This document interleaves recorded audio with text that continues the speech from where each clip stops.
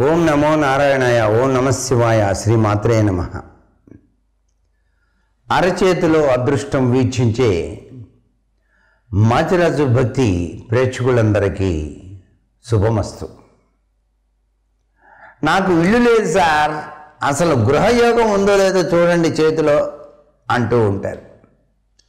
గృహయోగాన్ని కూడా కలిగించేది అరచేయే.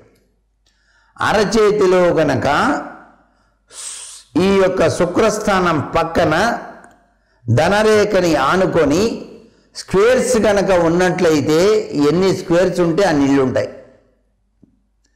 అదే గృహయోగ రేఖ.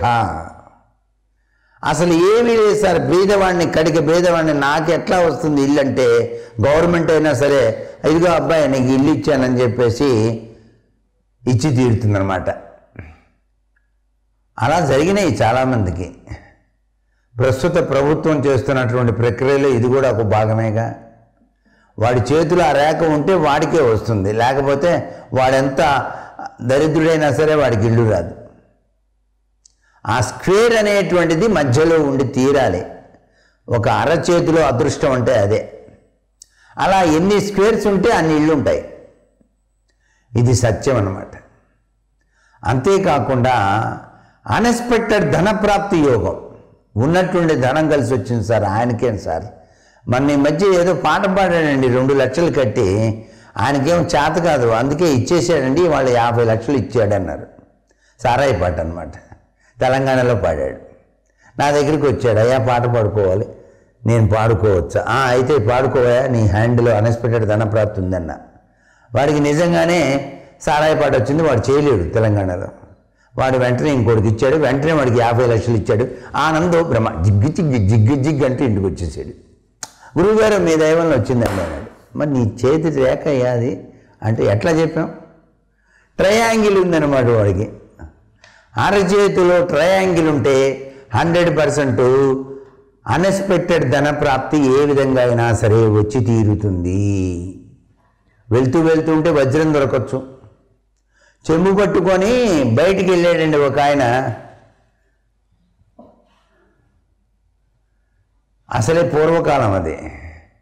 ఆయనకి ఒక అలవాటు కూర్చున్న తర్వాత ఓ పుల్ల తీసుకుని ఇట్ట ఇట్ట అంటాం. అలా అంటున్నాడు. అంటుంటే తెల్లగా మెరిసేది దొరికింది. ఏంట్రా బాబు అని చెప్పేసి వెంటనే పని కానిచ్చుకొని ఆ రాయి కాస్త తీసుకొని వచ్చి దాంట్లో పెట్టుకొని వచ్చాడు మర్నాడు. గురువుగారు ఇదే దొరికి చూడన్నాడు బలివేడు ఇది వజ్రం నాయన చిన్న చాలా లాభం ఇది. కొన్ని లక్షలు చేస్తుంది జాగ్రత్తగా దాచిపెట్టుకోను అదృష్టవంతులకు ఆపదలు కూడా సంపదలుగానే పరిగణిస్తాయంటే అది. వాడేం చేయలే పాపం. హాయిగా అవతలకి వెళ్ళాడు చెంబుట్టుకొని దొరికింది అంతే. అదృష్ట రేఖ ఉంది ఆయనకి చేతిలో. ఆ ట్రయాంగిల్ యొక్క మహిమ అనమాట అదృష్టాన్ని ప్రసాదించేది ట్రయాంగిల్ అంటాం. ఈ ట్రయాంగిల్ అనేటువంటిది హస్తంలో చాలా విశేషకరమైనది. ఈ ట్రయాంగిల్ అనేది హస్తంలో ఎక్కడైనా పుట్టచ్చు. ఎక్కడ ట్రయాంగిల్ ఉంటే అక్కడ అలా అదృష్టమే.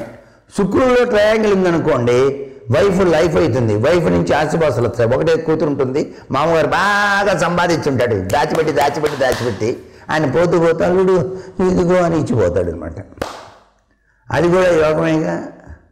అలాంటివి కూడా వస్తాయి అన్నమాట ట్రయాంగిల్ ఆఫ్ ది ఈవెంట్స్ అంటారు.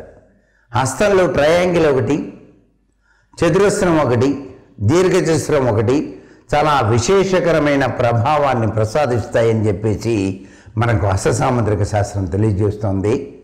ఇది చాలా గొప్ప విద్య. ఇది రావడానికి ముఖ్య కారణం ప్రతివాడు హస్తసాముద్రికుడు కాలేడు. హస్తసాముద్రికుడుగా ఖ్యాతి గడించాలంటే గురు ఫింగర్ దగ్గర సాలమన్ రేఖ అనేది ఉండాలి. సాలమన్ రేఖ అంటారు. ఇట్లా వంపు తిరిగి ఉంటుందన్నమాట. నాకుంది చూడండి. ఇలా సాలమన్ రేఖ ఉంది కాబట్టి నేను హస్తసాముద్రికవేత్తని.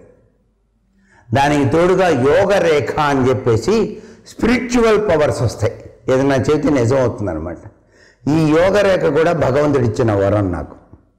అందుకే ముప్పై ఐదేళ్ళగా నేను అమరావతిలో ఇంట్లో కూర్చొని బోర్డు లేకుండా అససాముద్రికం చెబుతూ జీవితాన్ని గడుపుతున్నాను. పరమేశ్వరుని యొక్క కృపారస దృష్టికి నమస్కారం చేసుకుంటూ సర్వే జన సుఖినో భవంతు.